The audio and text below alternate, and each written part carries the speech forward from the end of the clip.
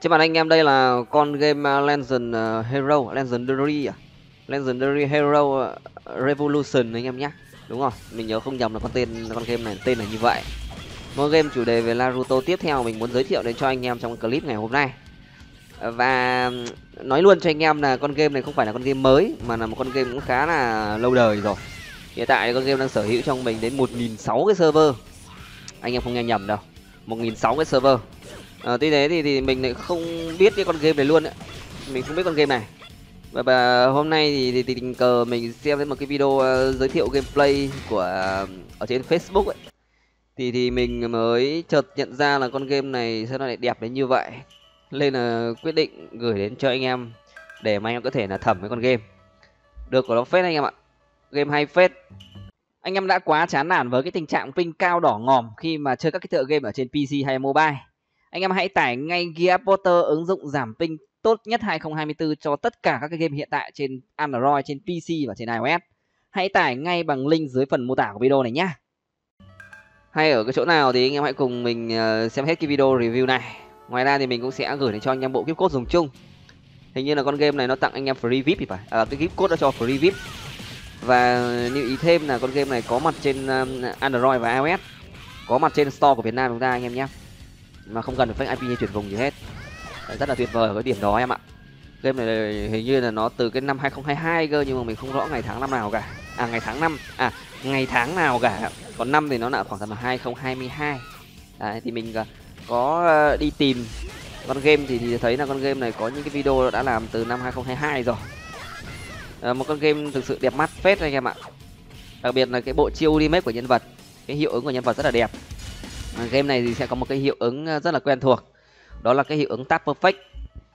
Đây cái hiệu ứng tap perfect thì mình sẽ tắt auto đi để cho anh em xem. Nó sẽ là một dạng tap perfect như thế này. Đó rất là quen thuộc nha anh em. Anh em nào đã từng chơi uh, những cái tựa game quyền vương quyền vương xưa ấy thì anh em sẽ sẽ ờ, biết cái hiệu ứng tap perfect này. Cái tap perfect này nếu mà anh em để auto thì nó hơi hơi củ chuối một tí. Còn nếu mà anh em muốn tap perfect hoàn hảo thì anh em có thể đánh tay. Auto này thì ờ, không phải là lúc nào nó cũng được perfect đâu.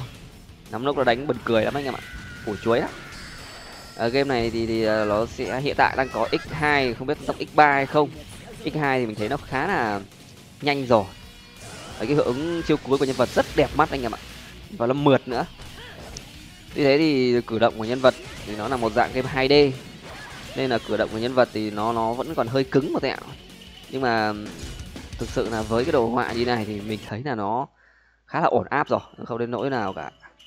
Rất là ok rồi. Ở đây là phần giao diện uh, nâng cấp của nhân vật gồm uh, up cái level lên này sau đó thì à, uh, nâng phẩm này sau đó thì nâng sao này đây là bộ kỹ năng này cộng điểm kỹ năng cho nhân vật này.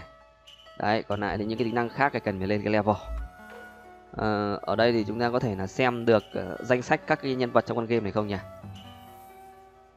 Gacha của chúng ta đây gacha, wow. Đẹp phết đấy anh em ạ. Anh em là fan của naruto thì sẽ rất là khoái con game này đấy. Gacha thử một lần x 10 để xem có cái gì nào. Tí nữa test cái gift code gift code có vẻ quả trò ghê lắm anh em ạ. Hình như nó free vip quần què gì ạ. Rồi, zabuza này. Chúng ta sẽ có thêm được một sr nữa này. U, một bộ esr này anh em. Đấy, được một esr rồi ờ, cho vào đội hình thôi anh em nhé cho vào đội hình ờ, chiến mạnh rồi. đầu tiên là linza đây. Chúng ta sẽ nâng cấp esr lên trước. Phải nâng cấp esr lên trước. Không biết là mình mình có nhớ là là con game này mình đã từng làm hay chưa, nhưng mà thực sự là khi mà nhìn thấy cái đồ họa con game này mình òa luôn mà. Nó nó đẹp. Đặc biệt là khi mà nhân vật chúng ta à, sâu cái hiệu ứng chiêu cuối. Lúc đầu thì nếu mà để x 1 thì cử động của nhân vật thực sự là nó thô vì thế, thì nếu mà anh em để x 2 x 3 thì nó lại có một cái sự khác bọt hoàn toàn. Rồi, vậy là đã đủ lơ cấp tiếp tục lên cái à, phẩm xanh cộng một này. Đây là up level đây này. Up level đây nha.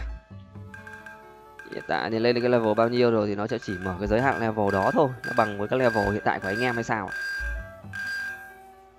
hết này, mấy cái ép hết vào nhá.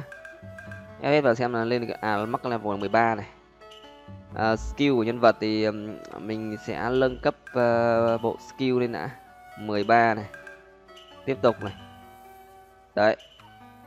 Rồi vậy là đã auto kê rồi. À, bây giờ tiếp tục vào à, à level 40 thì nó sẽ mở cho anh em đánh ải auto này. Có nghĩa là bật cái tính năng đó thì nó sẽ tự động chạy ải mà không cần phải anh em dùng tay. Ô thôi quên mình không đổi cái um, đội hình đó nếu mà anh em đang tìm một cái giả lập cực ngon này cực nhẹ và cực mượt cho pc và laptop của anh em truy cập ngay link dưới phần mô tả của video để mà tải ngay cho mình cái phần mềm giả lập cực nhẹ cực mượt để mà anh em có thể là chiến mọi loại game. Anh em click vào đó tải về và trải nghiệm cho mình nha. Đấy, anh em thấy thẩm được cái đồ họa này không? Một dạng tơn bay đánh theo lượt. Thẩm được cái đồ họa này nói chung là cái đồ họa này không phải ai cũng thẩm được đâu nha. Có người thích có người không thích nói chung là game nào nó cũng vậy. Có người thích có người không thích người thích thì người ta chơi game thôi. Người ta tải và chơi game còn người không thích người ta bỏ qua và tìm game phù hợp. Đơn giản là như vậy. Rồi bây giờ thì chúng ta sẽ cùng đổi cái đội hình uh, nhân vật mới để xem nào. Có cái gì hấp dẫn nào? Đây là formation đấy rồi. Uh, à, bây giờ thì chúng ta sẽ cho nhân vật mới kiểu gì nhỉ? À đổi thôi anh em ạ. Chúng ta sẽ đổi nha. Uh, một ssr đổi vào đây là sr hay là gì đây?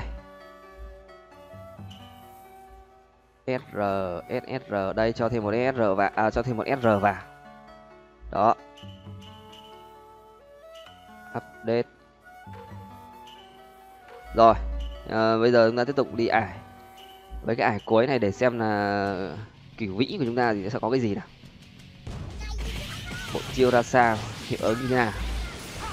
Những cái nhân vật uh, phẩm cao thì nó sẽ có cái hiệu ứng rất là tuyệt vời. Cái này thì không thể nào mà mà, mà bàn cãi được. Như thế thì ờ, mới chơi ở server mới như này thì, thì, thì chúng ta sẽ không thể nào mà đòi hỏi gì được hơn nếu mà anh không nạp Kakashi. Rồi chiến luôn. Chết luôn à? Ôi nhanh vậy. Chưa được sâu được được, được uh, kiểu vĩ nữa rồi. Rồi bây giờ thì ờ, đến bộ gift code nha. Bộ ờ, gift code của chúng ta để xem có cái gì hấp dẫn nào. À, code thì chúng ta sẽ nhập ở cái phần à, đây. Có phần code ở đây này. Ở ngay avatar có những cùng ở tay trái chúng ta sẽ ấn vào cái phần đó là system settings. Và đây là có cái phần rhythm code. Nhập code ở dưới phần mô tả của video vào đây anh em nhé. Đây là cái code đầu tiên. Chúng ta có 500 vàng ok. Đây là cái code thứ hai ôi hú vía anh em ạ. Có một cái cốt duy nhất thôi còn lại cái cốt khác là chúng ta nó bắt chúng ta phải đặt cái vip thì nó mới cho anh em. Xong nó lại có một cái bộ gift code buồn cười vãi.